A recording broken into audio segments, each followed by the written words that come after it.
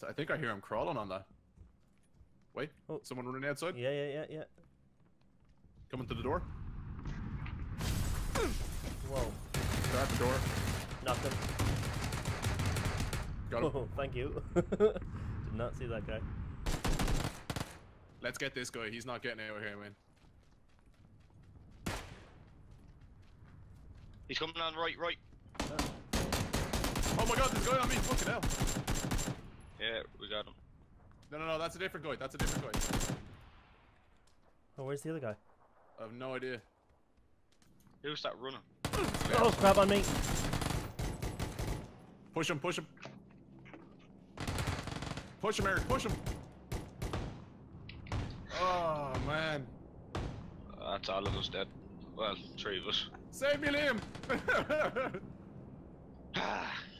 God damn. Oh, I, did, I didn't realize you had a pistol, Eric, man. Sorry, I wouldn't have told you to push yeah. him.